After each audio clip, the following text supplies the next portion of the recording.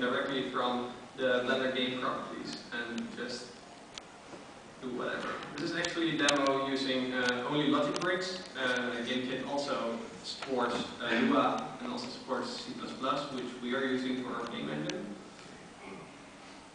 And the possibilities are, are, are really great since prototyping with this is really easy and, and you get all the advantages you have from Ogre and all the advantages from everything you should want to do with game engine. So I'm going to look at the blend farm for a moment.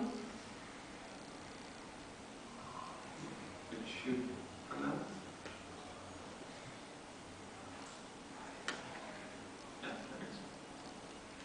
So this is the scene, and as you can see in, in the bottom, everything regarding the most basic functionality of the scene is in Logic Bricks.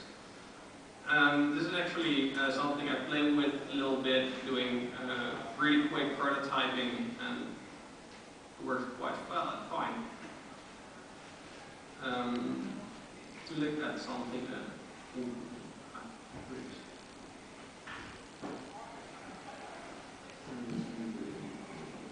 Okay, if you look at one of those um, physics boxes, you can see that we're moving to physics right now in Blender game.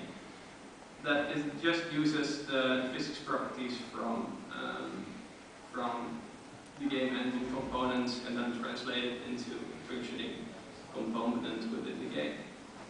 And although this is really fine and this is a really great application, this was not entirely all the things we need. So what we did was using GameKit as a base, a C++ demo, and um, a list what the things we need. Uh, one of the things were networking, which is quite important nowadays in game.